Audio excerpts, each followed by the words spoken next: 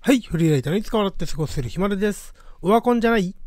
?N 国立花隆氏のチャンネル登録者数減少の理由とは？ということでやっていきたいと思います。えー、これね、右に、左ですね。すみません。左に出ているのは、チャンネル登録者数のランキングです。えっ、ー、と、この、ユーチュラっていうサイト、あのー、登録者数自体は1ヶ月前までしか見れなかったので、一応その登録数ランキングの方で表示してるんですけども、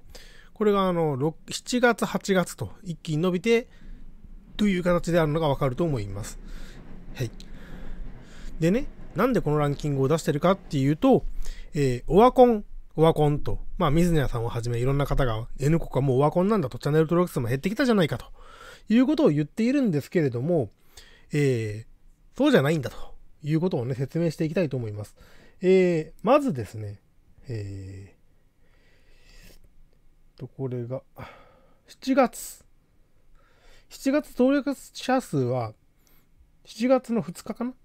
?13 万9566人だったんですね。これが、8月の2日になると、22万423。で、9月の終わりが45万4762。で、最近ちょっと減ってると。いや、急激に増えてきてるんですね。えー、立花さんのチャンネルって。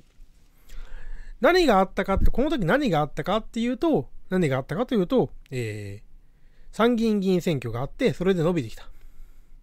その後もマツコの話とか、高須先生とコラボしたり、桜井誠さん、日本大統桜井さんとコラボしたり、菅野保さんとコラボをしたり、他にも、えー、青汁王子さんの話もあったし、ホリエモンとも一緒に喋ってましたよね。で、なんか一人くらい抜けてる気がするんですけど、あ、えっ、ー、と、グレートサスケさんとか、ミズニャンとか、ミズニャンさんね、あのー、今、オワコンでオワコンになってミズニャンさんとか、いろんな人とコラボをしてきたんですよ、ずっと。で、伸ばしてきたんですよ。でも、まあ、急激に増やしたって、まあ、大体あの、6月とか7月くらいから5倍くらい増えてる。10万人単位で毎月増やしてきてるんですね。で、50何万人になったのが、ちょっと最近1000人単位で減っていってると。ここ1週間ぐらいですかね。減っていってるんですけれども、なんでこれ減るのかっていうと、コラボとかそういうのって増えた人って、そもそも立花さんのファンの人じゃないんですよね。メズニャさんが出てるから一回見た。だから登録したけど、まあもういいかな。特にこの人面白いことしないしって消えていく人って一定数いるんですね、ずっと。大体それが出てくるのが、まあ、早い人だったら1ヶ月以内。大体あの、3ヶ月とか4ヶ月くらい後になって減るんですよ。なので、それによる現象なんですよね、これって今、おそらく。私が思うにはね。要するに、今まで急激に増やしてきた分の反動で、要はいろんなことをやって増やしてきたからね。その分の、その、話題性がなくなってきてる。まあ、話題性がなくなってきてるっていうと言い方が悪いですけれども、要はその、別に、水ニャンとずっとコラボしてるわけじゃないわけじゃないですか、立花さんって。もう最近はどちらかというと決別しつつありますよね。決別っていうか、まあもともと仲が良かったかどうかは別としてね。で、高須先生ともコラボして一回話題になったけれども、その後別に高須先生と絡むわけではない。桜井誠さんとコラボして話題になったけど、別に桜井誠さんと一緒に何かするわけでもない。となると、要は桜井さんのファンとか、高須さんのファンとか、水ニャンさんのファンとか、その他もろもろあのコラボした人たちのファンの人たちって減っていくわけですよ。で、ホリエモンさん、ホリエモン、高、えー、堀江貴文さんとか、あと大悟さんとかっていうのは、まあ、定期的に絡んで、まあ、大悟さん最近ちょっと、立花さんからの、えっ、ー、と、動画消したりしてるんで、もしかしたらもう絡まないのかもしれないですけれども、ちょっとずつその話が出たりとかして、保ってきていたる人もいます。堀江さんのファンの人とか多分、まだ登録したままだと思います。立花さんのチャンネルね。でも、メズニャンさんとか、高須さんとか、桜井さんの人って消えていくし、あと、えー、参議院議員選挙ですごく話題になって登録したミーハーな人、この人たちも減っていきます。徐々にね。その減っていく人に対して、最近、立花さんって選挙にバンバン出てるぐらいで、そんなね話題性ないんですよ。前ほどね。あの、マツコの、マツコデラックスさんの時のみたいとか、選挙で上がってきた時とか、いろんな人とコラボしてた時に比べると、話題性が減っているから減っているだけだと。別にこれは支持者が減ってるわけではなくて、ミーハーな人たちが減っていってるわけですよね。なので、オワコン、オワコンって言ってるけれども、ずっと話題、話題、話題、話題で上がってきたところ、そこからの先が今、その、次のインパクトのある話題がない。別に話題がないわけじゃないんですけど、インパクトあるのがないから、ちょっと減ってきたと。別にこれって話題でバンバン増やしたのが減っているだけで、またそのうち、その、ミーハーな人たちが減った後はまた微増になっていくんです。特に話題がなければね。やってることに対して知名度が上がって登録していく。あ、この人面白いなと思って登録した人っていうのが一定数いるはずなので、その減った分よりもその微増している分の方が少ない。だからこそ減っているように見えるけれども、別にその減ってる人たちって、その、立花さんの支持者じゃないわけですよね。もともとミーハーで登録した人たち。ということを水谷さんとかがわからないわけがないんですよね。知らんわけがないんですよね。思いつかないわけがないんですよ。分かってるはずなんですよ、あの人たち。で分かってるけど、減ってるから、ちょうどいいから、今、オワコンだ、オワコンだって言っとけば自分のチャンネルが伸びる。また、あの、まあ、水谷さんよく言ってるんですけど、最近、あの、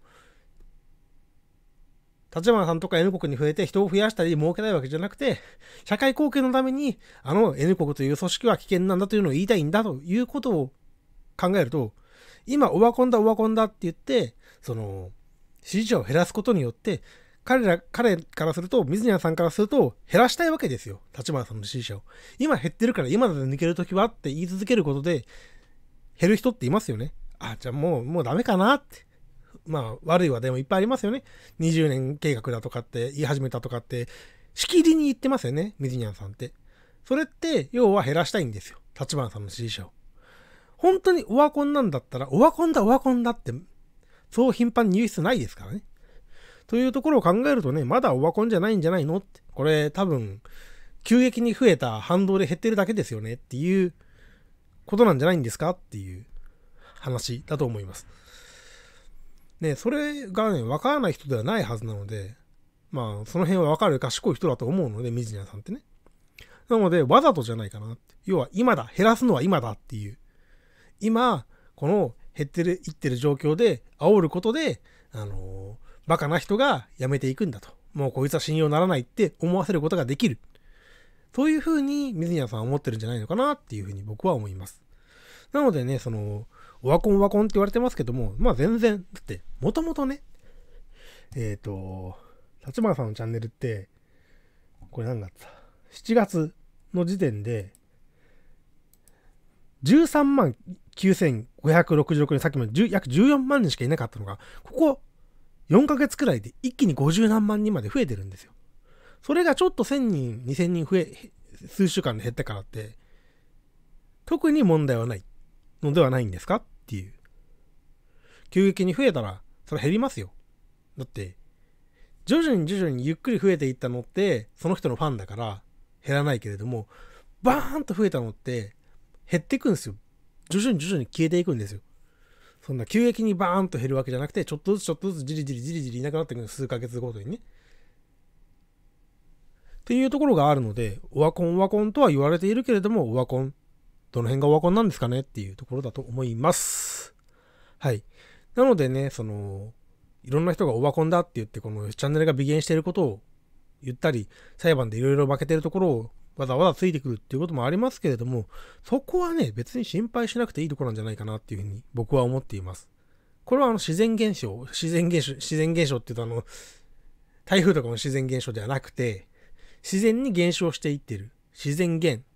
な部分の範疇なんじゃないですかね。50何万人もいるから1000人という単位で減ってますけど、これ、パーセンテージで言うと500分の1なんですよ。大体。減ってるのって500分の1以下なんですよ。